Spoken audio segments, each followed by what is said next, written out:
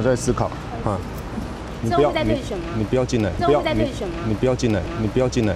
大手一挥，拔起挡下从镜头前穿越的女性友人。那位是助理吗？你们两个是什么样的关系啊？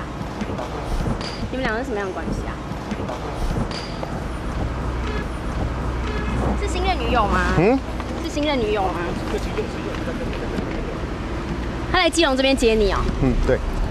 被问到什么关系，童仲彦摸了一下鼻子，再看一眼记者，偷偷吐舌头。助理、女友还是两者皆是？答案可能藏在微笑曲线里。你们交往多久了？基隆朋友啊？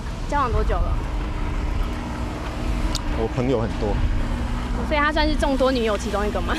又露出一抹甜滋滋微笑。疑似阿东新欢的基隆妹，从地检署出来之后，一直跟在他身旁，搭同一辆计程车，刻意拉上窗帘，不想被拍摄。撞车后出面协调赔偿的也是他。两人明明熟得很，基隆妹一开始还装傻。是同众是是是别人的，所以你知道同中面吗？对，我不认识他。你们现在要去哪里？我回台北。知道同中面吗？对，我不认识他。就找朋友，嗯，那那是我的助理。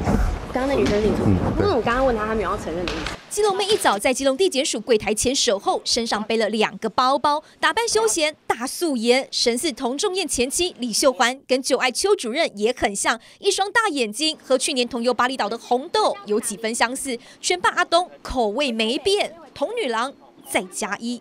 记者林信宪、陈建安、陈文月、邵玉敏，基隆报道。